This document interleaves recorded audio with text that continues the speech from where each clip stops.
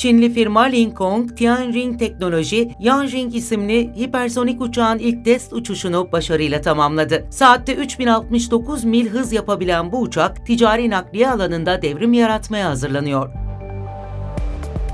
Yonjing'in ulaştığı hız Pekin'den New York'a yalnızca 2 saatlik bir uçuş süresi anlamına geliyor. Bu hızla uçağın dünyayı 7 saat içinde tam olarak dolaşabileceği belirtiliyor. Eskiden süpersonik hızın simgesi olan Concorde, Mach 2 hızında Atlantik'i geçiyordu. Ancak Yonjing'in Mach 4 hızı Concorde'un rekorunu ikiye katlayarak havacılıkta yeni bir çağın sinyalini veriyor.